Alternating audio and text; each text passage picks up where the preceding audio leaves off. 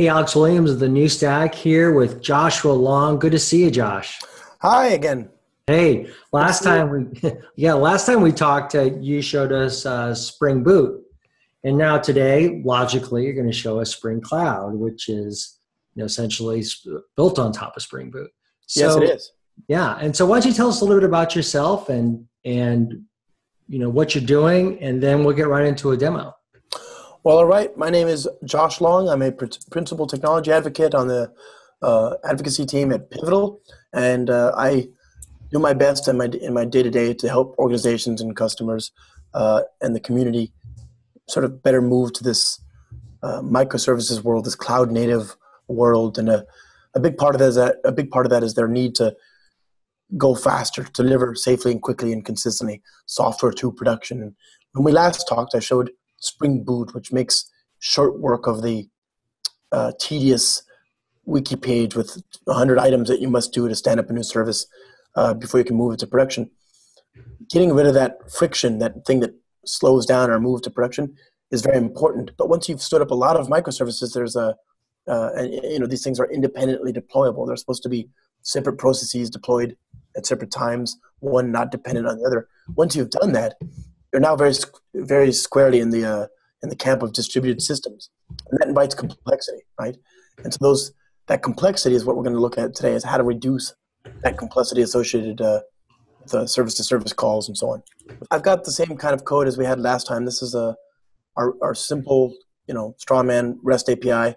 Um, if you stand it up like so, it'll give us a just a little bit of data from this from our sample. We've inserted some sample records into the database here, uh, and that's now available as a REST service which I can talk to here. Localhost 8080 reservations. So there's our, our simple uh, uh, payload with all the results and finder methods and hypermedia and so on. Uh, if I'm standing up more than a few services, I'm going to need to address common patterns, you know, these non-functional requirements that are implied with uh, distributed systems. One of them is centralized configuration. So Spring Boot makes short work of taking care of 12 factor style configuration. How do I externalize that which changes from one environment to another from the build itself? How do I promote one binary and simply reconfigure it when I move it to different environments? 12 factor style configuration you know would have you uh, externalize that information um, and you know hopefully the hosts, the passwords, the locators, the credentials, all those things that change from one environment to another are administered outside of the actual code. But when you start to have more than one service, that becomes tedious. You know, do you have to restart processes just to change passwords and, and mm-hmm. uh, host names? You have to visit each node. I mean, a lot of that is mitigated uh, by, for example, like a, a cloud platform, right? Something like a Cloud Foundry, which makes short work of starting and stopping services. But even still, there's a, there's complexity there and also discipline is required. For example, how do you do symmetric encryption and decryption of at-rest passwords in, in property files, for example, or in shell scripts and environment variables? So all of this is, you know, all this is a, uh, it requires something more. Another use case is how do you do live reloading of data? How do I do feature flags, that kind of thing, right? Uh, sort of restarting a process. How do I change the configuration? So what we're going to look at first is a, the, the Spring Cloud Config service, which is a microservice that you can stand up that sits in front of a repository of configuration files. In this case, I've got a directory managed through uh, managed by Git, uh, the, the uh, version control system, on my desktop. It's in the uh, desktop forward slash config folder, and here you can see I've got any number of um, of uh, property files. I'm going to do git pull, git reset hard, git clean minus id uh, and the clean. And now if I look at that, you know, I should have a, a, a, sort of a work, a clean working copy of all the config there. What I want to do is I want to have this microservice talk to that repository, and then stand up, you know, you know, retrofit this reservation service to talk to that uh, configuration microservice, so it can draw its configuration from a single place. If I want to change it, I need only change the configuration in the repository, which is after all journaled and, and uh, auditable because it's Git, and then I can propagate those changes to my services. So if we look at the configuration in the um, in the in the directory here, if we look at, for example, reservation service.properties, uh, you can see we've got a message here, which is uh, from the Cloud Foundry Summit that I was just at in, in Shanghai a few days ago. Mm-hmm. And um, and I've got a server.port value. Server.port is what the is the port I want to run a service on. In this case, the service is reservation hyphen service, and thus it's going to get the information in reservation hyphen service dot properties. Indeed, it'll get this and more. If I if I want to see what, I can go to the uh, the browser here, and here's the same information. Here's the config service that we've already got running, right? And and it's pretty easy to stand up your own if you go to start.spring.io and uh, choose the config server. If you're using a platform like Cloud Foundry, this is just a backing service that you can easily uh, create and then bind. So it's running. I've already pointed it to this desktop repository, and you can see here it's got two files, two sets of configuration: reservation service.properties, which any microservice identifying itself as reservation service would see, and then application.properties, which only you know which all services, regardless of their name, will see. So uh, should there be a conflict, as there is here, between server.port and the more specifically named reservation service.properties and server.port down here in application.properties, the more specifically file, uh, more specifically named file, the, the property in that file wins. So we're going to tr- retrofit our reservation service and we're going to also inject this message here. So let's go back here and I'm going to go to the client and I'll add the dependency that lets me talk to the config server so I'm going to add a bit of indirection, but that's okay because it gives me the ability now to uh, centralize version, journal, audit, etc. All this configuration. Once I've done this, I need to tell my code where to go to get its configuration. By default, Spring Boot projects look for uh, configuration in application.properties or application.yaml in the uh, resources directory. I'm going to tell it instead uh, to talk to the config service, which is running on another port. So I'll say that it's, I'll give it a name. It's called reservation service, and then I'll specify that it has to live or look rather in uh, localhost 8888. Naturally, this itself could have been in an environment variable, right? So nothing has to be hard coded. This could have been a dash D argument or, or an environment variable. Uh, so that's there.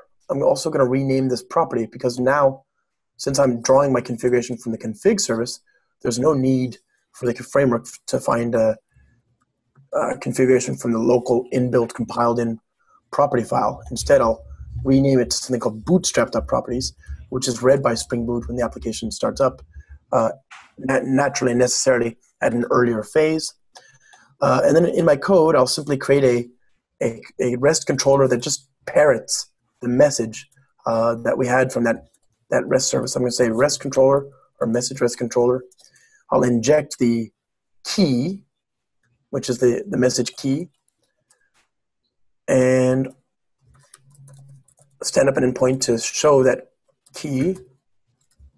Now, I also want to be able to reload this value live when the application is uh, running. So I'm going to also annotate this bean with at refresh scope, uh, and then restart. And we should, if everything goes to plan, be able to access forward slash message and get the key from the config server. And it should also, in lieu of starting up on port 8080, which is the default, it should start up on port um, 8000 because that's what we had configured in the config server. So let's see. Localhost 8000 forward slash reservations. That should work. Yep, check. Message there's that value. Now that value is there we go. Not really. It's it's it's a good value. I think you can agree. It's I worked hard on it. It's got one, two, three, four, five words. So that's that's something. But hmm. as as values go, we can do better. I think so. I'm gonna open up this value here, and I'll say um.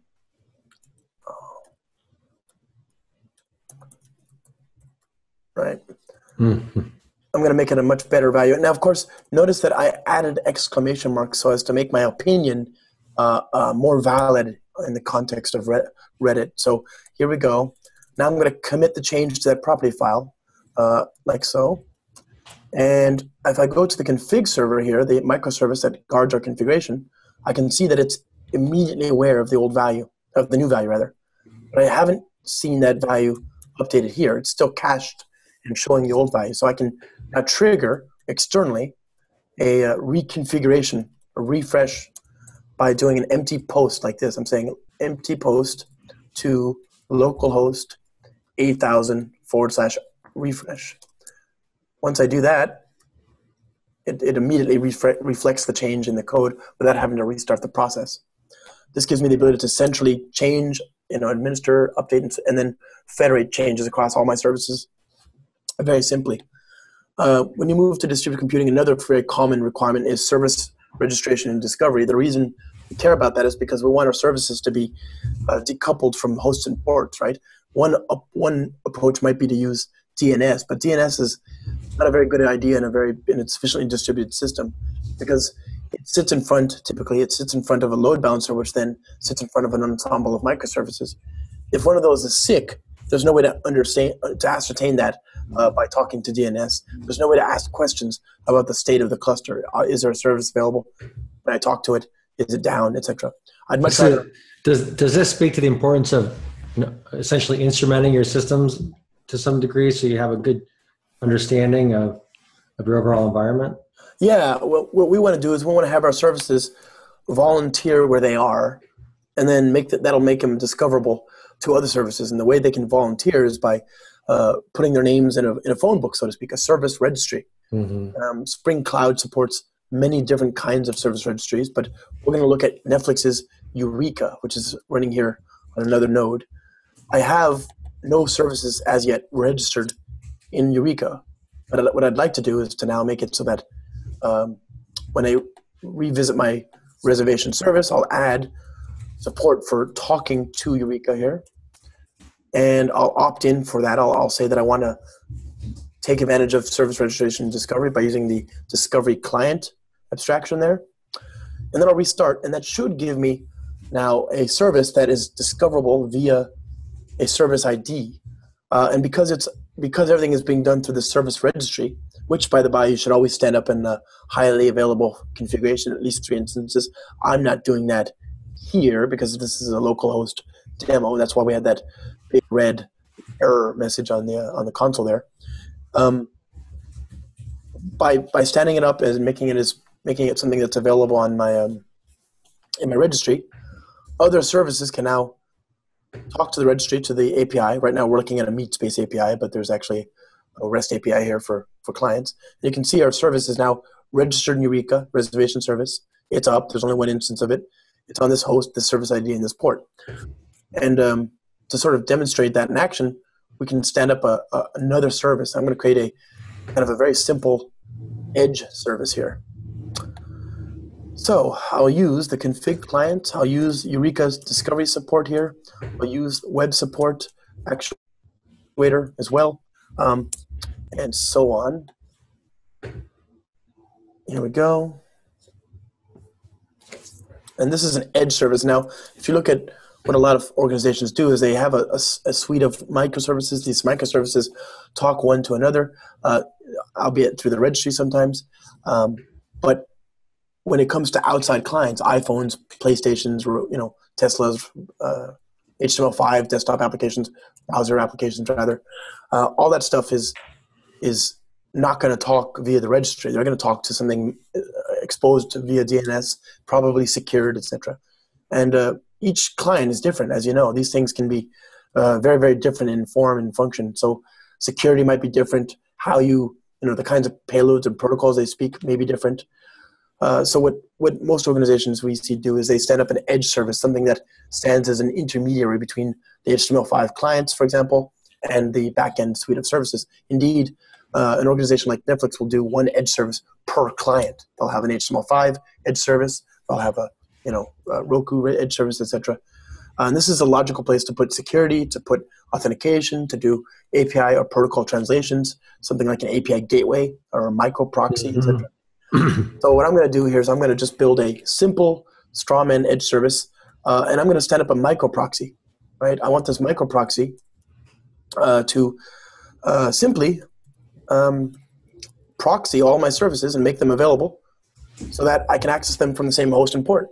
And if you're building a um, if you're building a uh, HTML5 client, for example, maybe that's enough, right? I mean, you can, um, you just need to be able to get all the services from the same host and port and uh, maybe add to HTTP basic or OAuth and uh, terminate the service at SSL. And maybe that's enough. Maybe you're done. So I'm going to tell this service that it should take part in service registration discovery so that it can talk to the registry. And I'm also going to say that it's a, a Zuul proxy. This is a micro proxy that will forward requests to the services as registered in the registry. I'll use, uh, I'll rename the file bootstrapped properties and uh, point it at my uh, registry. And uh, sorry, it's the config service. I gave it a name as well, so I'll say Spring Cloud config URI equals HTTP localhost 8888. And so now I've told it to talk to, to Eureka, which we have running, and that configuration is in the config server, which we've just looked at. And I've told it that it's to make all of the services that are registered in the registry, which again it'll discover through the configuration, uh, available under a single sort of proxied host and port. If I start that up, um, we'll see it's been up on port 9999. Okay, localhost. So here we go. Here's my sort of endpoint here, reservation hyphen service forward slash reservation. So if you you'll recall our reservation service lives in port 8000, right? Here it is. Here's here's the old one. So let's see the new one, port 8000. This is our actual service, and yet if I go to 9999 forward slash reservation hyphen service, that's the service ID as we found it registered here in Eureka. If I go to that endpoint and then address any of the content, any of the paths underneath the, the root there, so this is reservations, that was forward slash reservations, I get the same information.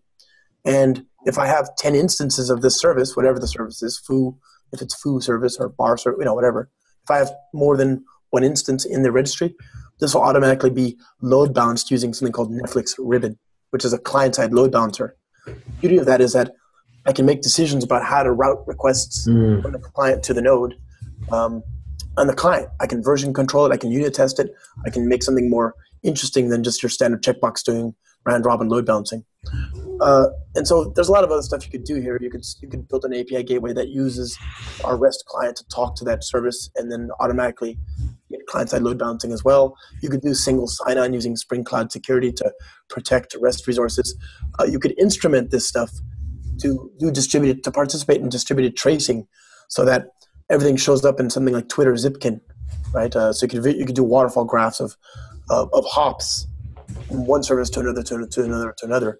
Um, all of that is easy to see in a single dashboard using Spring Cloud Zipkin, right? So there's a lot, lot of stuff here. Uh, if you want to do pub sub or event driven um, system composition instead of REST based composition, you can use Spring Cloud Stream.